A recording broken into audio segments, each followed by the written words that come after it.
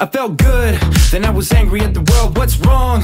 It's all good with my girl. I think too much, therefore I'm bound to think things suck. Can't explain the pain that I'm feeling. I get upset for no reason. Serotonin must be leaking. Cause I'm fine for a little, then I'm tweaking.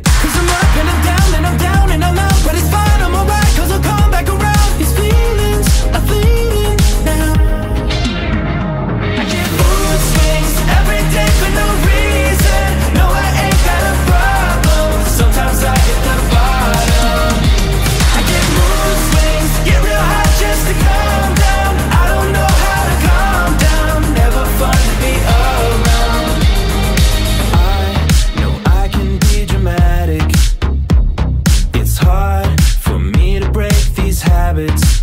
Did I sleep enough? Am I staying hydrated? Is there a reason why I'm always irritated? Cause I'm up and I'm down and I'm down and I'm out But it's fine, I'm alright cause I'll come back around These feelings are bleeding now I get mood swings